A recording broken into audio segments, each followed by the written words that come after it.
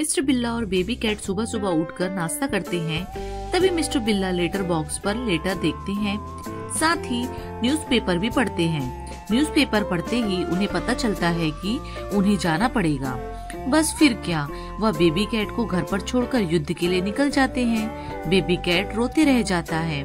फिर वह अपने काम में लग जाते हैं। दोनों तरफ़ से फायरिंग होते रहती है बहुत हमले होते हैं। एक हमला बड़ा होता है और मिस्टर बिल्ला बेहोश हो जाते हैं। बेबी कैट के पास कॉल आता है कि उनके पापा ठीक नहीं हैं। वह उदास हो जाता है। कुछ दिनों बाद मिस्टर बिल्ला अपने बेटे को पीछे से आकर सरप्राइज़ देते हैं और बेबी कैट खुशी के मारे उछलने लगता है।